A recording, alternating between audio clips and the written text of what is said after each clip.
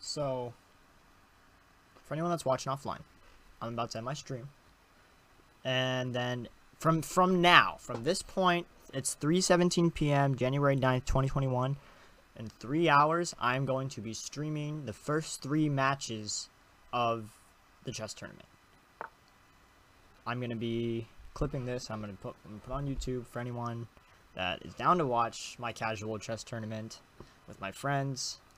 Everyone is welcome. Please come hop in the stream. There will be a link to my Twitch and my home my the, my participating homies Twitches as well. Um, I hope you can make it. And now let's finish this chess match. Well, I so I can go nap or something.